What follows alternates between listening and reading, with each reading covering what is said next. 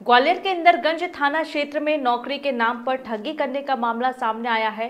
Police के मुताबिक एक कंपनी संचालक ने घर बैठे पैसा कमाओ के नाम पर आधार कार्ड, पैन कार्ड और बायोडाटा लेकर नौकरी का झूठा आश्वासन दिया। जब आवेदकों को पैसा दिए हुए एक महीना हो गया तो वह नई सड़क स्थित कंपनी पर गए, जहाँ पर ताला लटका मिला।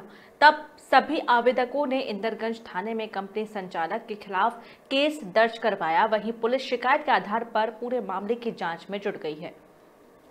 करता था यहाँ मैं इनका स्टिकरिंग और क्यूआर कोड का काम देखता था। हाँ। जो मेरे मेरे थ्रू कुछ लड़कों ने काम किया उनका इन्होंने पेमेंट नहीं किया है। साथ में मेरी भी दो महीने की सैलरी नहीं आई है। तो ये जो यहाँ शिकायत लिखी है यहाँ बच्चे आए हैं महिलाएँ आई हैं तो इन लोगों इन लोगों को नौकरी मिली कि नहीं मिली? नहीं अभी तक कोई नौकरी नहीं मिली है। इन लोगों ने कंपनी कैसी है? फेक कंपनी है क्या है? बता दो कंपनी फेक हो, हो ना हो इसका मुझे नहीं पता है लेकिन दुकान का जो संचालक था उसके संचालक के द्वारा नौकरी लगाने के नाम पर कि घर बैठे काम करने के लिए दस दस हज़ार रुपये ऐसी तनख्वाह मिलेगी। ये कह के दो दो हज़ार रुपये एडवांस लिए गए उनका बायोडाटा लिया गया। किंतु उसके द्वारा किसी प्रकार की नौकरी नहीं दी जा रही है और पैसा भी वापस नहीं किया जा रहा। इस बात